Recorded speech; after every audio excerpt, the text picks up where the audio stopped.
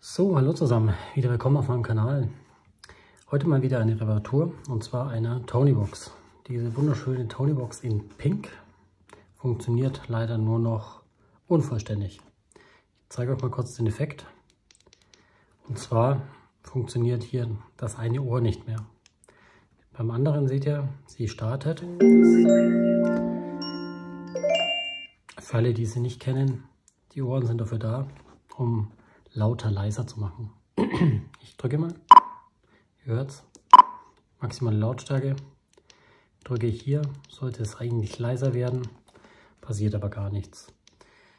Es ist ein typischer Fehler, man liest das relativ häufig, dass die, die Buttons, die hier drin sind oder die Kabel, die hier drin sind, kaputt gehen durch das Biegen der Ohren und so passiert das. Wir zerlegen sie heute einmal und schauen mal, ob wir den Fehler repariert bekommen.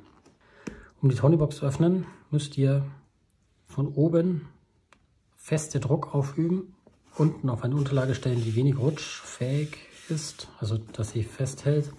Ihr habt hier unten einen Gummi und ihr müsst drücken und dann einmal ungefähr 10 Grad in diese Richtung drehen. Dann knackt der Boden auf. Das probieren wir jetzt mal. Ich schau mal, ob das hier geht auf meinem Tisch.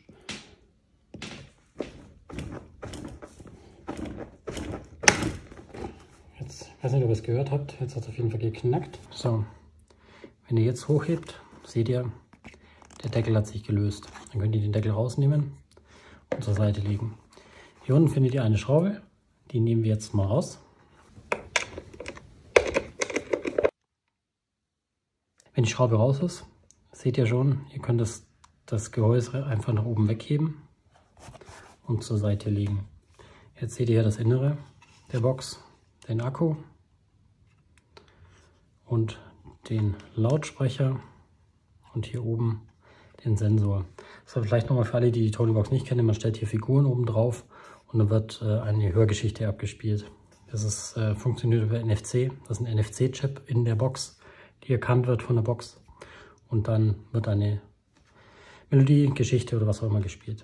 Jetzt legen Sie jetzt mal, wir wollen mal den Akku raus. Dazu haben wir hier zwei Schrauben. Dann können wir den Akku rausnehmen. Der ist hier oben gesteckt. Den nehmen wir raus. Dann schrauben wir die, die drei Schrauben hier unten einmal, zweimal, dreimal raus. Dann können wir den Deckel abnehmen und kommen so an das Board und an die, an die Kabel, die sich hier hinten drin verstecken.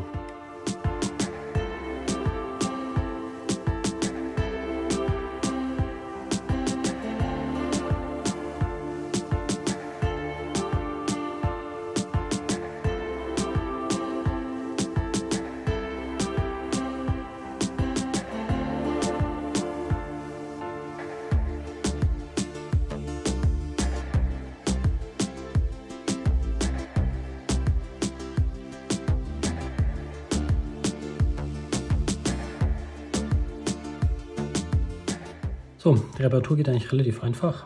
Wir messen es jetzt mal. Ihr seht es hier an der Stelle, dass wir, gehen wir noch ein bisschen näher ran. Ihr seht hier das Board, das ist relativ einfach aufgebaut. Also man hat hier nur ein paar größere Komponenten drauf. Und hier die SD-Karte, auf die die Songs aus dem Internet geladen werden. Einen Prozessor, ein Kondensator, ein Coil.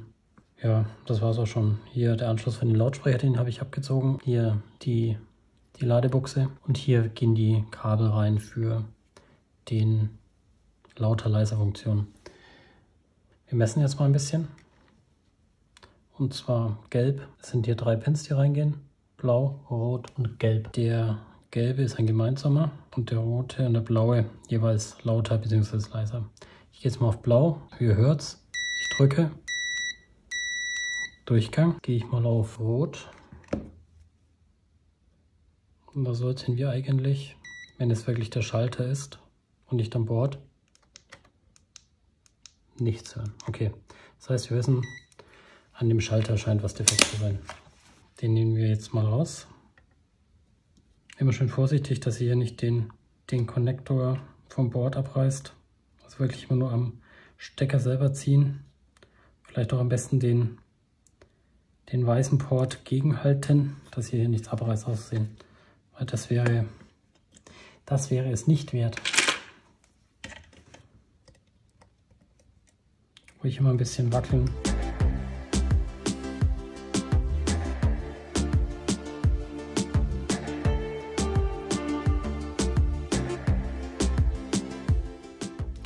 Okay, ähm, man sieht schon das Problem. Also ich sehe es, ihr seht es wahrscheinlich noch nicht.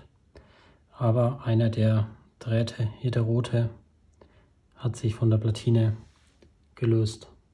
Gehen wir ein bisschen näher ran, da seht ihr es. Der rote ist gebrochen. Klassischer Kabelbruch, wahrscheinlich durch die Bewegungen der Uhren ist das rote Kabel einfach abgebrochen. Das blaue sieht noch okay aus.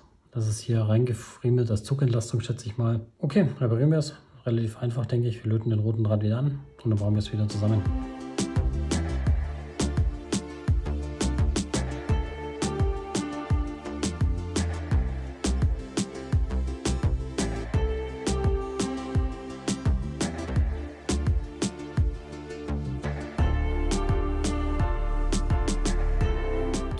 Okay, das ging ja relativ einfach auch ohne Mikroskop, also auch für Leute, die sag mal, einen Lötkolben zu Hause haben und jetzt nicht die technisch versiertesten sind. Ihr könnt sowas relativ einfach selbst reparieren. Ihr braucht nicht immer ein fancy Mikroskop oder irgendwelche anderen Gerätschaften. Ein bisschen Interesse und dann könnt ihr sowas auch reparieren. So, wir setzen es jetzt mal wieder zusammen. Friemen hier mal die Drähte wieder rein. Ich glaube, das wird recht lustig, wenn ich mir das anschaue. Und dann bauen diese zusammen und testen, ob sie funktioniert.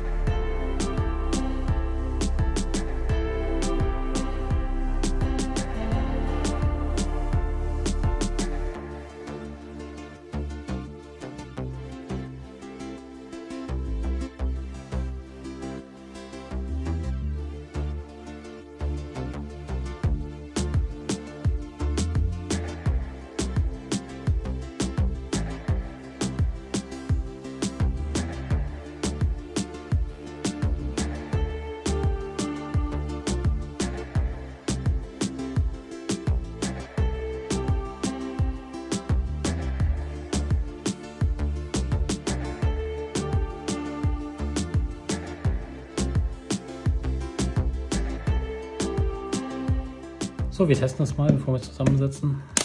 Nicht, dass die Arbeit umsonst ist. Wobei ich gute Dinge bin, dass es funktioniert. So, wir gehen mal auf Durchgang. Messen einmal von blau nach gelb.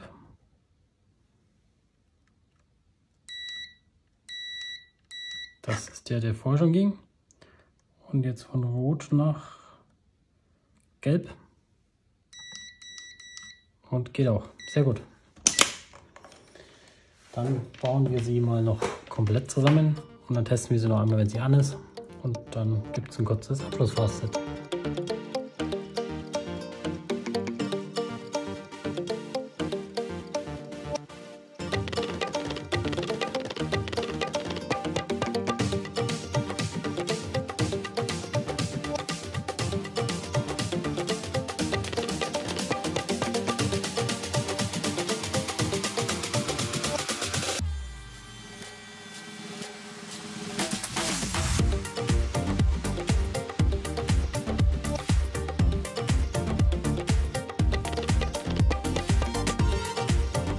So, der Zusammenbau ging eigentlich dann doch wieder recht einfach. Ihr müsst den Deckel einfach wieder drauf drehen, draufschrauben und fertig. So, wir testen es jetzt mal. Man sollte es an den Geräuschen hören, dass es lauter und leiser wird. Leiser.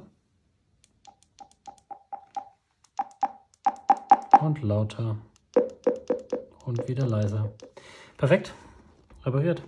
Ihr seht, man braucht nicht immer irgendwie ein Mikroskop und sonstiges verrücktes Equipment. Einfacher Schraubenzieher und ein Lötkolben reicht schon aus, um solche kleinen Dinge zu reparieren. Deswegen scheut euch nicht, versucht es, lasst euch Zeit dabei. Und wenn ihr was gelernt habt, lasst mir gerne einen Daumen da, lasst mir ein Abo da. Ich freue mich über jedes Abo, ich freue mich über jeden Kommentar. Schreibt gerne irgendwas in die Kommentare. Und ich freue mich, wenn ihr mich unterstützt und beim nächsten Mal wieder reinschaut. Vielen Dank, bis zum nächsten Mal. Ciao, ciao.